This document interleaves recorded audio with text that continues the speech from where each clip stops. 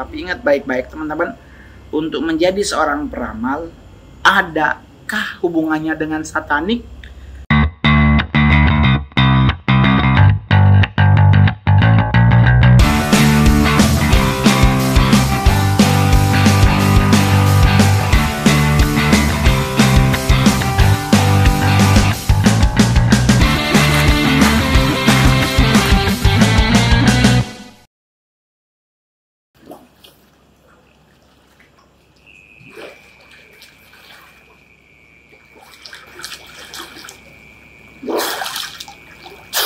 Wah, enak banget. Hah, enak banget.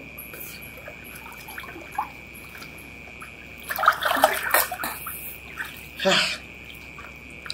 Halo teman-teman semuanya. Ketemu lagi dengan Mongol Stress Channel. Mongol lagi ada di Bali. Lagi ada di Hotel Melasti di daerah Legian di Jalan Padma area pokoknya. Ada pantai Melati jadi teman-teman semuanya kalau belajar tentang dunia kegelapan itu sama kayak belajar bagaimana caranya lu mata tertutup tapi masukin benang ke dalam jarum hanya orang-orang yang mempunyai skill tertentu yang bisa melakukan hal tersebut. Dan untuk mendapatkan skill tersebut butuh proses. Jadi teman-teman tidak serta-merta orang itu punya six sense. Salah satunya mungkin dia indigo dari kecil. Tidak serta-merta dia akan menjadi seorang indigo yang profesional banyak fase, banyak ketakutan, banyak kebingungan, banyak plus dan minus yang harus dihadapi oleh mereka-mereka yang memiliki six sense. Jadi teman-teman banyak yang nanya ke Bang Mongol, Bang Mongol, ciri-ciri orang yang seandainya nih apa mendapatkan kiriman gitu. Kirimannya dalam bentuk mungkin santet, telur dan sebagainya. Itu ciri-cirinya seperti apa? Apakah terlihat dari fisiknya, atau apakah terlihat dari uh, something yang ada di area rumah atau persahabat perteman circle hidupnya dia. Jadi teman-teman ingat baik-baik orang yang ngirimin santet orang yang kena santet maupun kena telu baik pengirim maupun target tidak hari itu juga terjadi. Jadi butuh fase butuh proses untuk apa yang dikirim itu jadi ke orangnya jadi tidak sempat serta-merta disantet Kamis, dikirim Jumat jadi. Enggak. Itu ada fase rentang waktu yang harus connecting real namanya.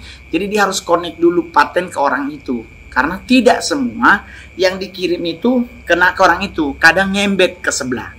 Jadi buat teman-teman kalau seandainya melihat ciri-cirinya. Oh, Bang Mongol, anak gue kok mendadak dia malas makan. Nah jangan dibilang santet. Mungkin makanannya nggak enak otomatis ya cari alternatif yang dulu mungkin dia makannya soto terus. Ya mungkin cari mie atau mungkin cari nasi goreng. Bisa juga seperti itu. jadi jangan segala sesuatu bang di rumah gue kok setiap jam 12 malam cecak bunyi. Ya emang cecak kan tugasnya bunyi.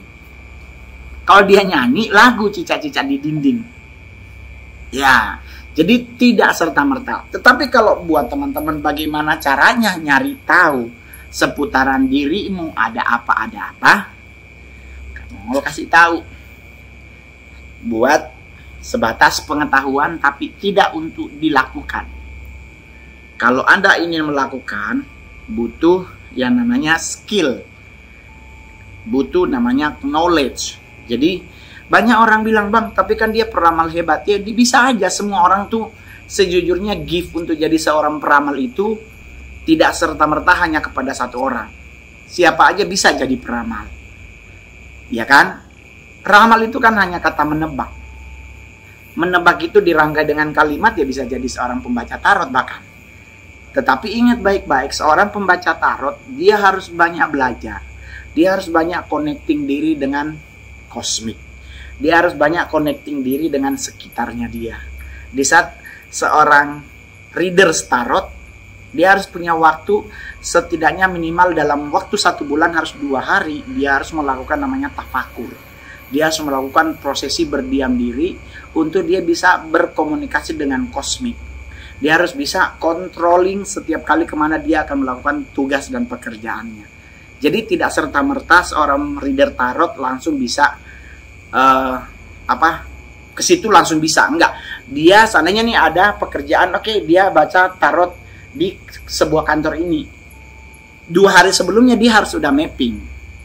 Dia harus sudah melakukan apa ya namanya uh, ya apa mapping mapping itu pemetaan. Dia harus sudah melakukan banyak connecting dengan sekitar. Dia masuk sebuah kantor kalau seandainya itu dilakukan di sebuah perkantoran dia harus mulai kantor ini dulu dibangun connectingnya bagaimana ininya bagaimana apakah ada darah sapi atau ada darah manusia yang itu terus ada berapa korban jiwa. Dia harus melakukan itu teman-teman untuk seorang reader tarot yang benar-benar seorang taroid tidak seorang tarot yang kamuflase dia harus connecting dengan di mana dia pergi.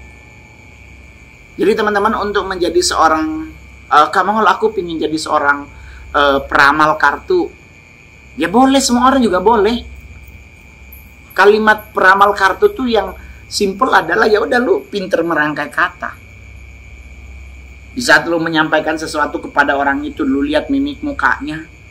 Mimik mukanya berubah, lu randa, lu runutin semua yang lu mau sampein, yang connectingnya dengan apa yang lu sampein di saat dia berubah muka. Tetapi seorang pembaca tarot atau seorang peramal yang benar-benar peramal, dia harus punya skill mumpuni, tidak sebatas hanya memberi ramalan. Tetapi dia juga harus bisa memberi conclusion, dia harus bisa memberi way out, untuk setiap hasil ramalan yang dia kasih. Masalah ramalan itu berhasil atau tidak tergantung dari diri seseorang. Tetapi kalau Anda pingin benar-benar mengerti tentang hidup, ya berserah sama Tuhan paling benar. Karena ramalan dari 100 ramalan bisa aja dua yang dijawab. Tetapi kalau Tuhan udah berkata ya, ya. Kalau teman-teman muslim bilang kun fayakun pasti kun. Cuman itu doang. Tapi Bang Mongol bagaimana caranya untuk bisa jadi seorang reader tarot? Lu harus memiliki kartunya dulu. Skill kan udah punya nih. Lu udah dapet connecting lu udah bisa berkomunikasi dengan spirit yang ada di satu tempat. Lu bisa dengan kosmik area atas udah mulai bisa. Baru lu harus memiliki kartunya. Kartu tarot banyak dijual bebas. Di Tokopedia ada di Shopee ada di mall-mall juga ada. Beberapa mall di Jakarta juga jual tarot. Tapi lu harus beli tarot dan tarot yang lu beli harus connecting dengan diri. Nggak serta merta lu sembarang kartu. No teman-teman. Karena untuk menjadi seorang reader tarot kartu penentu bahwa setiap ramalan tarot lu itu akan menjadi cesplak jadi oh bang ada kan di Plaza Indonesia tuh bang dijual? Ya udah beli tetapi ingat ada yang tidak cocok dengan diri. Ciri-ciri kalau kartu tarot itu tidak cocok dengan dirimu adalah di saat lu ngebacain sesuatu, membaca seseorang, dari seratus yang lu baca, semuanya apa namanya membal. Nggak ada yang lu dapet tekanan spirit lu menjadi menjadi kuat lu jadi doyong gak jelas lu jadi hilang hilang apa namanya ya jo hilang suk kalau bahasa Kristennya tuh kayak hilang sukacita lo jadinya ngebaca kayak tekan. Nah tekanan itu bisa karena memang kartu nggak cocok yang kedua juga bisa dari orang yang lu baca. Karena di saat kita membaca tarot terhadap seseorang atau di saat kita ngeramal kepada seseorang ada yang namanya block mind. Seorang yang diramal 100 orang yang diramal 99 ada titik yang namanya block mind. Ada daerah yang orang itu nggak mau dibaca. Orang suka nanya bagaimana caranya. Kak Bongol buat membuat orang yang itu ngebuka apa yang ingin dia baca. Ya lu harus punya skill tertentu. Jadi untuk menjadi seorang tarot atau seorang peramal, ini bagaimana bikinnya? Sorry kamu agak kurang jago tuh. Kacamata juga so gelap. Oke. Okay jadi teman-teman menjadi seorang reader tarot atau seorang peramal atau cenayang lah kurang lebih. semua di Jakarta banyak yang menjadi seorang reader tarot.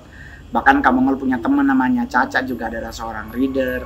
Ada kamu ngel kenal uh, beberapa para peramal-peramal Indonesia yang hebat.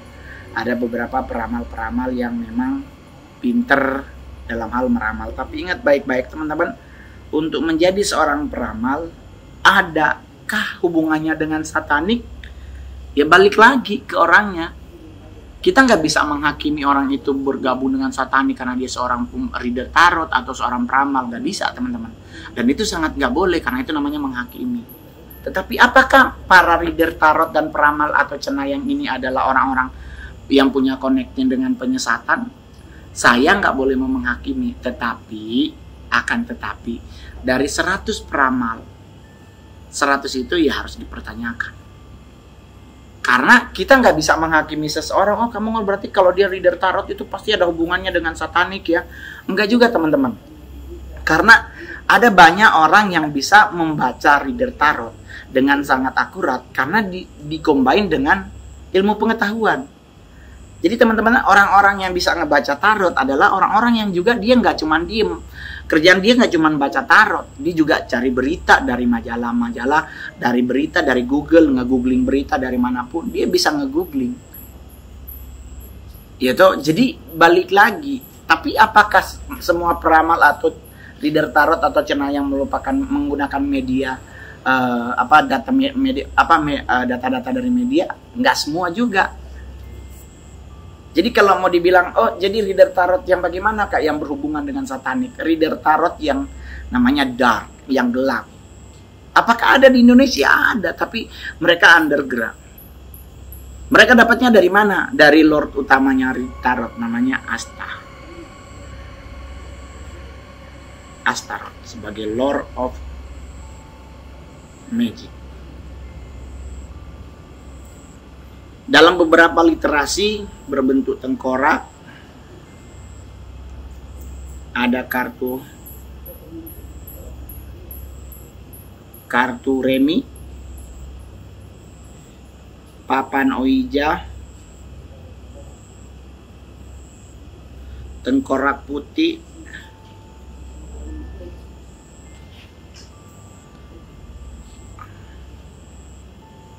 ada pedang ini adalah merupakan salah satu altar dari Astaroth.